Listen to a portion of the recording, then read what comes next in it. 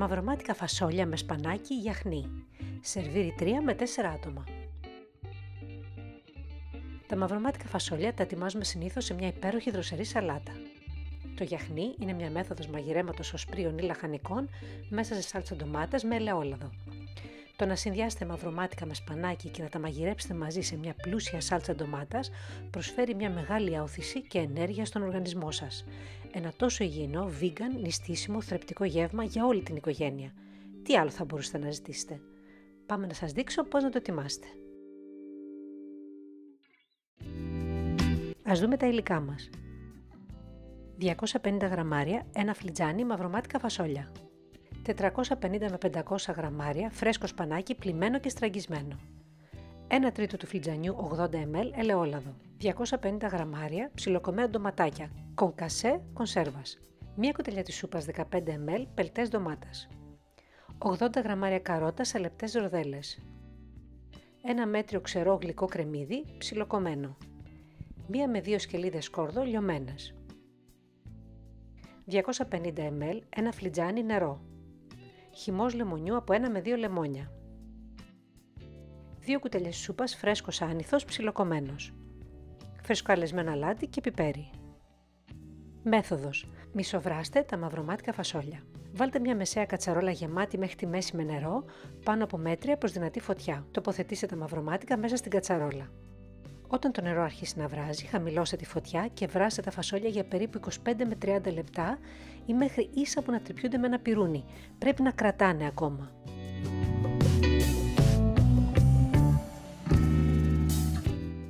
Βάλτε τα σε ένα τρυπητό και ανακοινήστε το για να αφαιρέσετε το νερό. Βάλτε τα στην άκρη. Φτιάξτε το γιαχνί. Ρίξτε τα 2 τρίτα του ελαιόλαδου σε μια φαρδιά βαθιά κατσαρόλα πάνω από μέτρια προς δυνατή φωτιά. Μόλις ζεσταθεί το λάδι, προσθέστε τα ψιλοκομμένα κρεμμύδια και σοτάρετε τα μέχρι να γίνουν διάφανα και να μαλακώσουν. Ανακατέψτε μέσα και το λιωμένο σκόρδο.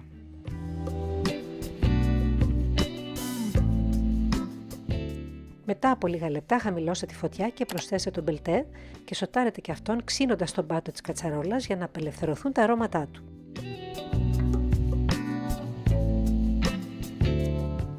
Στη συνέχεια ρίξτε μέσα ντοματάκια κονκασέ. Ανακατέψτε να ενωθούν. Τώρα ρίξτε το νερό μέσα στη σάλτσα.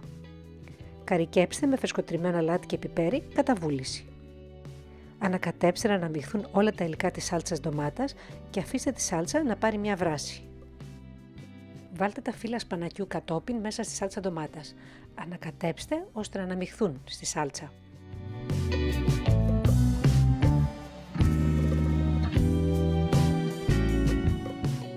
Μόλις το σπανάκι αρχίσει να συρρυκνώνεται, προσθέστε και τα καρότα στην κατσαρόλα.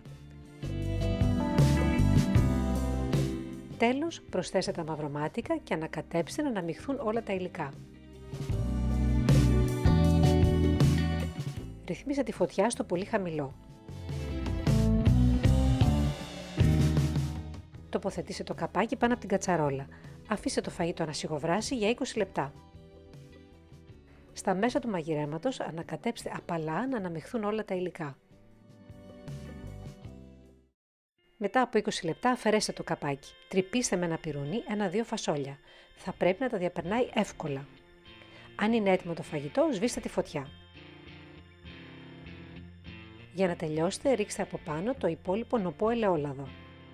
Επιπλέον προσθέστε λίγο ακόμη πιπέρι, το χυμό λεμονιού και τον ψιλοκομμένο άνηθο. Ανακατέψτε τα.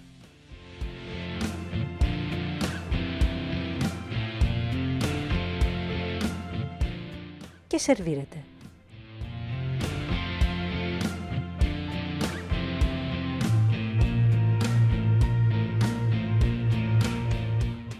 Προτάσεις σερβιρίσματος. Σερβίρετε τα λαχταριστά μαυρομάτικα φασόλια με σπανάκι γιαχνί όσο είναι ακόμα ζεστά. Προσθέστε ένα μικρό κλαδάκι φρέσκο άνηθο για γαρνίρισμα πάνω από κάθε πιάτο και μισό λεμόνι για όποιον θέλει το φαγητό του λίγο πιο ξινό. Σερβίρε το γιαχνί με σπιτικές πράσινες ελιές και φρέσκο ψωμί για να απολαύσετε την πλούσια σάλτσα ντομάτας. Ένα απλό και νόστιμο, τέλεια χυλωμένο φαγάκι και το σπανάκι έχει νοστιμήσει μιας και έχει ρουφήξει την πλούσια σάλτσα. Στοιχηματίζω ότι σε όσους δεν αρέσουν τα φασόλια ή και το σπανάκι θα αλλάξουν γνώμη όταν δοκιμάσουν αυτό το πανέμορφο πιάτο. Πληροφορίες φύλαξης. Φυλάξτε το υπόλοιπο γιαχνί μόλις κρυώσεις σε αεροσταγέ δοχείο στο ψυγείο για και μία εβδομάδα ή στην κατάψυξη για ένα μήνα. Απολαύστε το!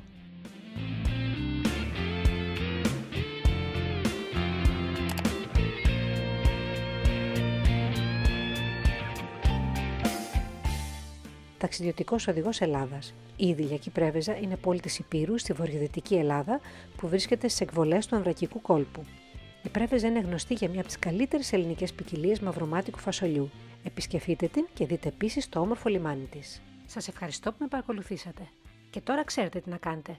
Κάντε εγγραφή στο κανάλι μου Greek Cooking Made Easy. Αφού είδατε το βίντεό μου, τώρα μπορείτε να δείτε και τη συνταγή μου γραμμένη στην ιστοσελίδα μου. Το link της είναι στην περιγραφή του βίντεο. Κάντε like στη σελίδα μου στο Facebook ή ακολουθήστε με στο Pinterest και το Instagram.